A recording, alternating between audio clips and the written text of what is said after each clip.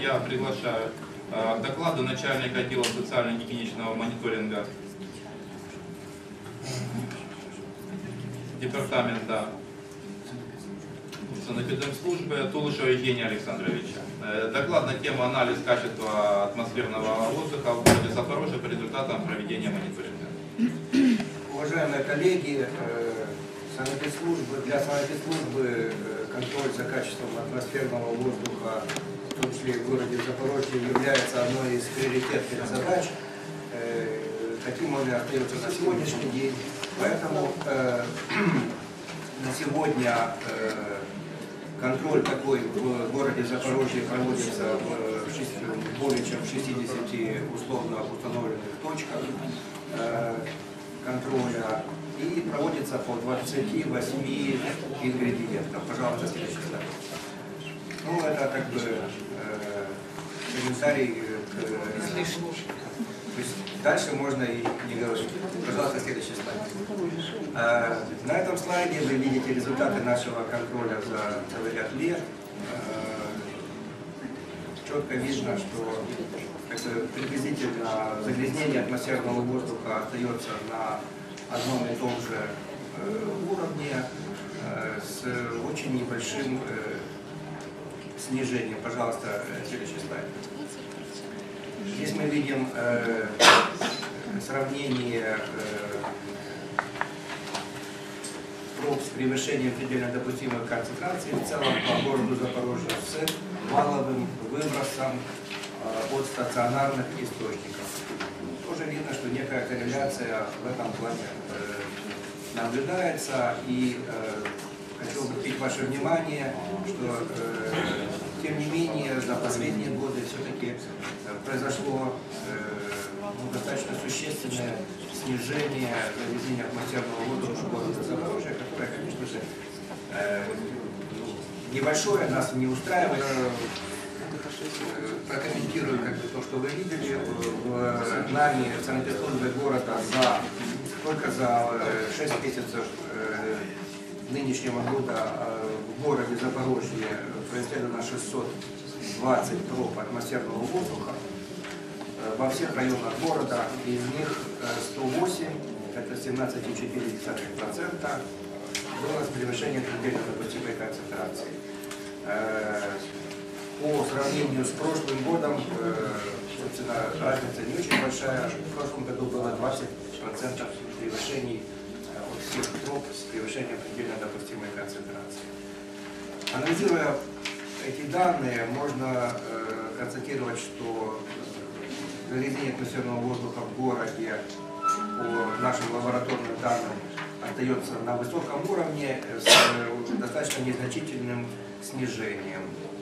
Э, Снижение это связано э, как с выполнением ряда предохранных мероприятий, в том числе и на Запорожстале, вот одна машина номер один, так и с э, нестабильной работой наших промышленных предприятий. Все мы знаем, что целый ряд предприятий простаивали или работали неритмично в 2015 году.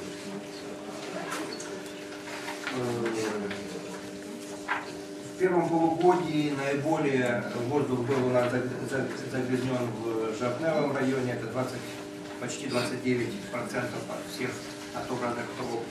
В Шевченковском районе, в районе Ше- Шевченковского промузла это 22,9% проб. В Орджоникидзевском районе 18,3% проб, и в Заводском районе 17% э, от общего количества всех исследованных проб было с превышением предельно допустимых концентраций. Основными за- загрязнителями воздуха остаются э, пыль 59% от всех отобранных проб с превышением ПДК, фенол 68%, сероводород 47% и сероводород 42%. Вот на эти четыре вещества приходится наибольшее количество загрязнений э, в городе Запорожье. Э, Необходимо отметить, что э, вот, э, основной причиной загрязнения, как тут уже говорили, остается э, устаревшие технологии и оборудование, которые уже, к сожалению, не в состоянии обеспечить современные требования к качеству атмосферного воздуха. Ну и э, частично в э, свой вклад вносит э, э, метеорологические факторы. Наш город расположен в такой зоне, для которой характерны неблагоприятные условия рассеивания вредных выбросов, штили, э, температурные инверсии и так далее, которые способствуют накоплению выбросов в резервном слое и ну, очень характерны, особенно в ночное время для, для нашего города.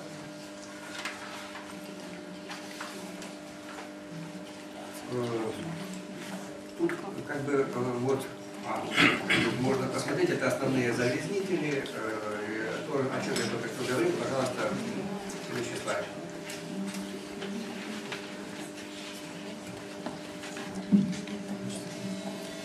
Сейчас, следующий слайд, пожалуйста.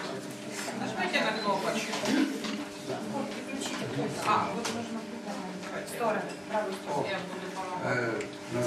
Это, вот, вот эта карта города, с, э, то, о чем я только что говорил, наиболее за- загрязненные районы и э, как бы наименее за- загрязненным районом у нас остается Коркинский район, зеленый цвет, и э, район Песков э, в Коммунаровском районе. Пожалуйста, следующий слайд.